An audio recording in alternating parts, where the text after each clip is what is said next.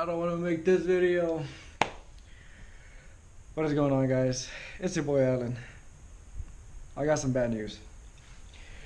So, this past Sunday, I had a little accident with the car. I was driving off of a feeder that is kind of known for getting flooded, and I tried to evade, you know, this big ass puddle that formed up, and I hydrolocked the RSX. I couldn't manually crank it. My brother-in-law and myself, we took out the spark plugs. We tried to dry it out as much as we can. We opened up the manifold, and just I couldn't bring back the RSX back to life.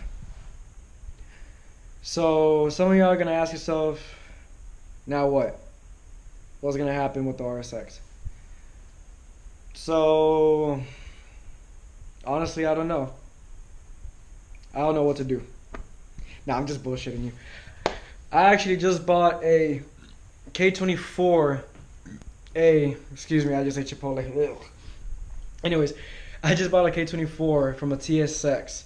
I'm doing the engine swap. I got somebody that's gonna be doing it for me. Uh, due to the fact that you know uh, being active duty right now and just having a lot of shit on my plate, I'm not gonna be able to do it myself. And on top of that, um, I'm kind of on my own on this one. You feel me? So I got. I, I gotta do what I gotta do to bring back the RSX to life.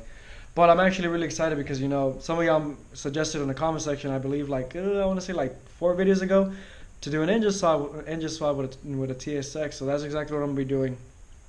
Um, the guy, man, the guy that I that I got in contact with, he's actually pretty cool. I'm actually familiar with him. We used to go to the same reserve center uh, back in Houston. So he's he's a pretty cool pretty cool person. I know him personally.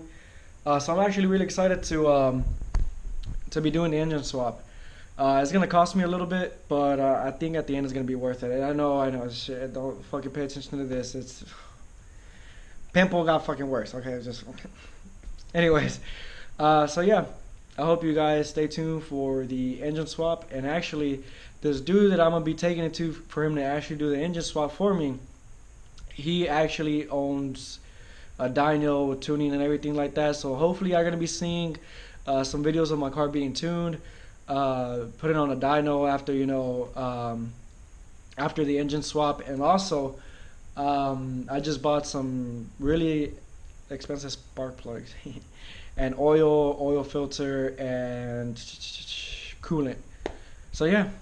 Hopefully by this week I should be sending the car up there to Spring, Texas uh, and getting it worked on. I actually just bought the engine today. It was about eleven hundred dollars, uh, which sucks uh, because you know just spending too much money.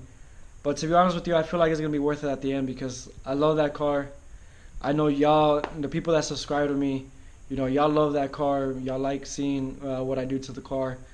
But um, yeah, that's what happened. I hydrolocked it. It got water in through the cold air intake um, the cold air intake actually was rubbing against the frame of, of the car and it actually created like this big hole. I think i should uh, i think i can i can um, insert a picture later on in this video. So yeah guys um, hopefully y'all y'all stick around for this engine swap. I hope y'all are excited like i am. And y'all have a good night